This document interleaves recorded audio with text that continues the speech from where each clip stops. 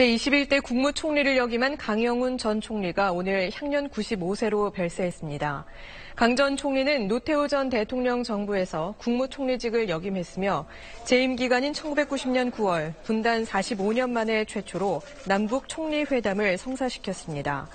같은 해 10월에는 총리로는 처음으로 북한 평양을 찾아 주석궁에서 김일성 주석을 직접 만나기도 했습니다.